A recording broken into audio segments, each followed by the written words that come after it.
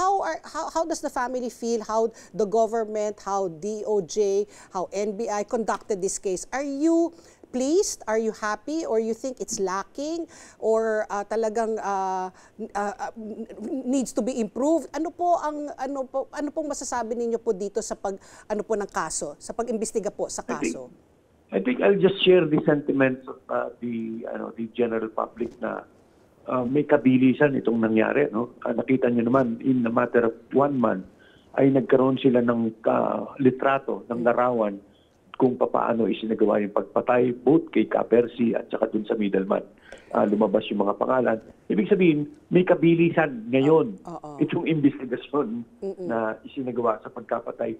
Palagay ko ito lang yung journalist killing na yung resolution ay sobrang bilis, sobrang extensive. Ah, kaya nga dapat nagpapasalamat nga po ako sa mga ahensya na to.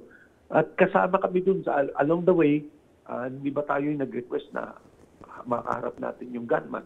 Pinagbigyan tayo.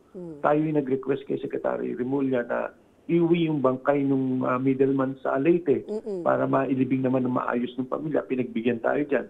Tayo po yung nag-request na ma- magkaroon ng second autopsy dahil hindi po tayo kontento ron sa NBI.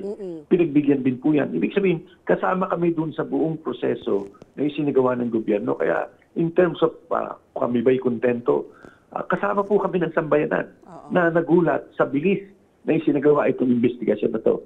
Subalit, sabi ko nga kanina, hindi po natitigil dyan ang aming paghingi ng justisya. Oo. For as long as hindi pa natin nakakamit yung 100%, hindi po kami magtitigil magsalita at makiusap sa ating pamahalaan. Mm. Nung binabasa ko po yung mga ulat at ah, nalaman natin, da- dahil may money trail na rin, ah, ang ibinayad, ang pinag, pinagbahagi-bahagian po nila, 550,000. Minsan kung kayo eh mahal sa buhay nun eh, parang 550,000 lang pala ang halaga ng buhay ng kapatid ko. Sumagi ba sa isip niyo yon, Karoy? Alam mo ba, Ali, na hindi naman talaga 550,000 ang kabayaran dapat kay Kapersi, pagpatay kay Kapersi. Yan ay nagsimula sa 200,000. Ito'y base sa mga salaysay lahat itong mga cast of characters. Ano? Oo. Sinabi nila na 200,000 lang ang unang offer. Ah, subalit nung nag-surveillance itong gunman, tinawagan niya yung nag-utos sa kanya. Sinabi niya, eh, dagdagan niyo yung bayad sa akin. High profile pala itong pinapapatay niyo eh. Ah.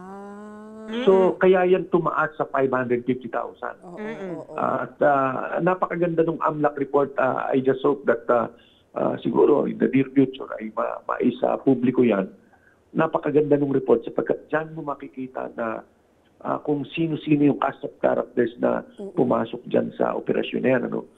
Galing sa loob ang pera, idiniposito sa labas, at may mga nagdeposito ng mga private citizen, nahalungkat yung kanilang mga bank record, yung kanilang pagkatao. Ah, siguro hindi na ako yung magsasalta para dyan. I will allow uh, the government to uh, later on release kung sino itong mga to para mahinto na rin yung krimen about Yeah. uh, biro mo, galing sa loob yung pera, order, Correct. tapos ini-execute dito sa labas. Oo. May mga taong kasabwat dito sa labas na nagdideposito ng pera para patayin sama oh. gaya di KPR. Okay. Um.